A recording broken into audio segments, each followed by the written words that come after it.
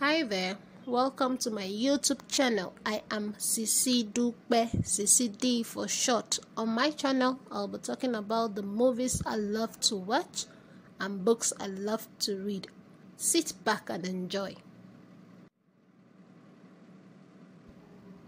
I'll be talking about High Note, a 2020 movie.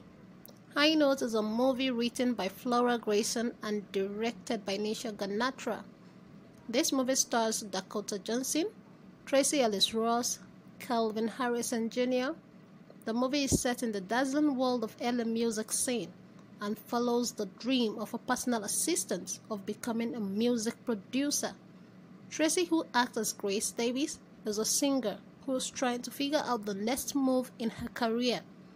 Maggie, her personal assistant, dreams to be a music producer Maggie tries to make some of Grace's demos and pitching her own ideas of what her boss's live album should sound like. Jack, Grace's manager, rejects Maggie's ideas and rooted for a Vegas residency. Maggie also pretends to be a producer and takes on a new singer, David, hoping to prove that she has what it takes to make him a star.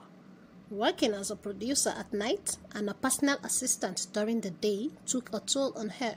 Eventually, her two worlds collided. The cast for the movie is great. The relationship between Grace and Maggie, very okay, but the rest of the characters made the movie bland. Yes, bland, you know what I mean. The movie teasingly touches on the subject of age, sex, and race, which are major barriers for women like Grace who are in the music industry. This subject stays flat throughout the movie. The tension between Grace and Maggie, Maggie and David were resolved. But how? I don't know how, but the end of the movie suggests that.